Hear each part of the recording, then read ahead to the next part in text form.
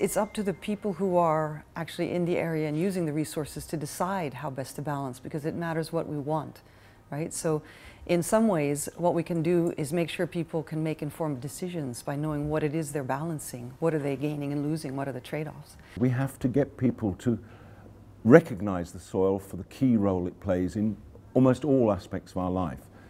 When we get public recognition, we might then get political recognition. I think we need an, a holistic approach.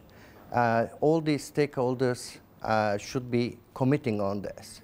At the end of the day, uh, you know, if we act together, we can, we can find a solution.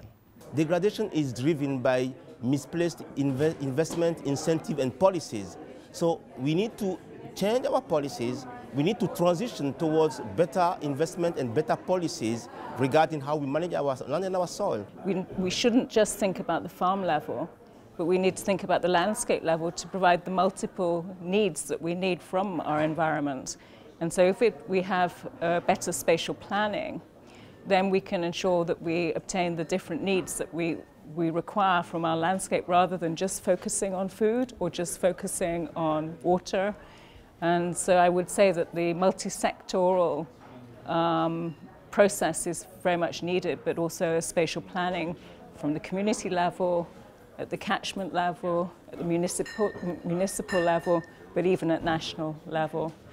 I think we have two different levels. We have the European level in the sense of um, uh, implementing legislation which already exists, like the, the CAP and environmental legislation, and also regional, national level, local level, because soil protection is better tackled at local level. In order to solve the problem in Europe, we should not export the problem to the third world. We use soil from other countries. É fundamental que essas demandas sejam uh, equilibradas com as demandas e as necessidades das comunidades locais, que são, na verdade, as produtoras dessas commodities agrícolas e parte das commodities não agrícolas. Então, um dos equilíbrios fundamentais é o respeito aos direitos dessas comunidades, ao direito à alimentação. Nesse particular é fundamental o respeito aos direitos dos povos indígenas e das comunidades tradicionais no que se refere aos direitos territoriais. A lot of those competing demands are not competing, they're the same thing.